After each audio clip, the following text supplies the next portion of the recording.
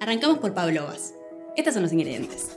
Para las pavlovas individuales vamos a necesitar 60 gramos de acuafaba, 120 gramos de azúcar, media cucharadita de vinagre de alcohol, media cucharadita de extracto de vainilla y una cucharada de almidón de maíz. Para la crema de coco, una lata de leche de coco, una cucharada de azúcar impalpable y una cucharadita de extracto de vainilla. Para los toppings, 250 gramos de frutillas, 2 cucharadas de azúcar y 50 gramos de pistachos picados. Desafío vegano. La primera receta que voy a hacer son unas pavlovas. Las voy a hacer individuales para que cada una de mis amigas tenga una. Ya sé, están diciendo pavlova se hace básicamente a base de claras de huevo. ¿Cómo vas a hacer que sea vegana? Bueno, voy a usar aquafaba. ¿Sabían lo que es el aquafaba? Es el líquido de la lata de garbanzos o si no tienen lata de garbanzos pueden cocinarlos, después los retiran y reducen el líquido que queda ahí aproximadamente 18 minutos. Y ya está, tienen la aquafaba. Voy a arrancar. Estoy muy contenta y emocionada.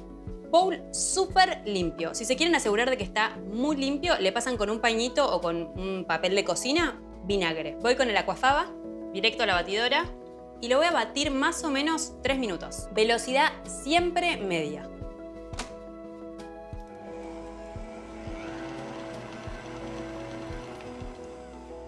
Una vez que formó picos suaves, así, ya está listo. No del todo, ya está listo para que le pongamos el vinagre de alcohol.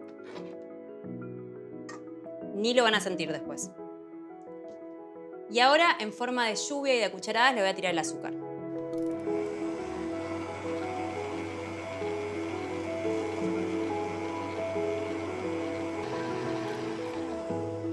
Le ponemos un chorrito de esencia de vainilla y después voy a batir más o menos 12 a 15 minutos o hasta que se disuelva el azúcar. Lo ponen entre su dedo índice y el pulgar y si no sienten cristales de azúcar, está listo.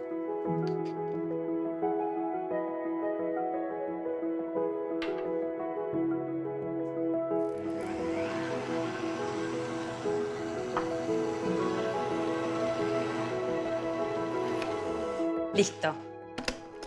Realmente parece un merengue. Todavía falta un detalle y es el almidón de maíz. Lo que va a hacer es que por fuera quede crocante, pero por dentro quede blandito al estilo de un malvavisco. Queda increíble. Ya está tamizado. Es importante que lo tamice. Lo hago suavemente para no perder todo el aire que logramos con tanto batido, así que con amor. Listo. Tengo mi placa por acá si no tienen plancha de silicona, pueden poner un papel manteca que esté eh, engrasado, no enmantecado, porque usamos otro tipo de grasa, no manteca. Puede ser un aceite de girasol, un aceite de coco, va perfecto, o spray vegetal. Separo así, como unos círculos y después lo voy a acomodar bien. Ahora los hago un toque más grande, pero para que no me falte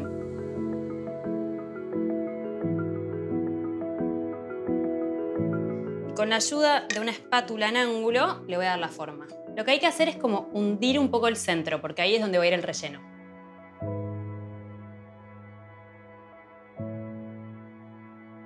Listo. Horno precalentado a 110 grados, súper bajo, por aproximadamente una hora y media.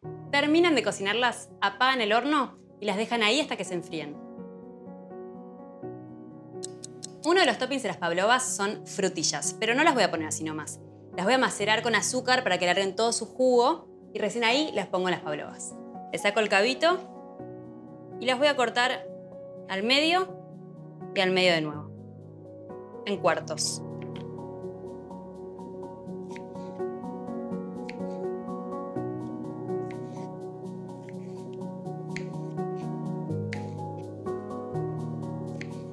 Le pongo azúcar y lo integro.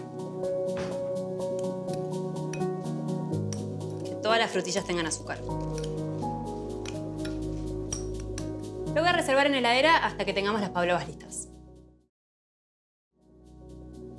Por acá tengo crema de coco. Después les cuento de dónde viene. Es ideal para reemplazar la clásica crema chantilly. Vamos a hacer como si fuese una crema chantilly, pero obviamente sin crema de leche. Crema de coco, azúcar impalpable y esencia de vainilla. En algunos países se consiguen crema tipo chantilly vegana. Eh, acá en Argentina, de hecho, se consigue, hay una marca. Pero me parecía que el coco le iba a sumar un sabor muy, muy rico a esta pavlova. Junto a las frutillas, más algo que va a ir después arriba, que es una delicia, queda impecable. Está bueno que esté fría la crema de coco.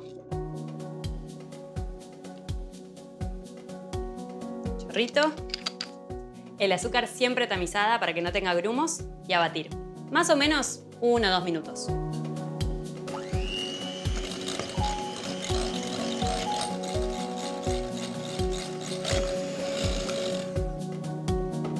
Hermosa la crema de coco. Les voy a mostrar la textura. Así tiene que quedar. Ya tenemos todo listo. Casi. Faltan las pavlovas. Las voy a rellenar con la crema de coco, frutillas, un poco de menta y el toque crocantito que le queda ideal, pistachos.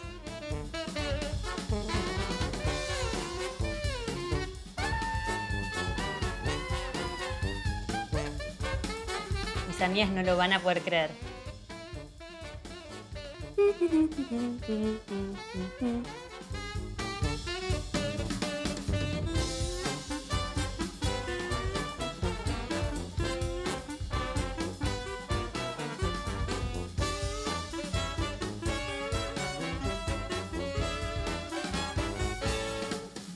Antes de empaquetar todo, esta la voy a probar.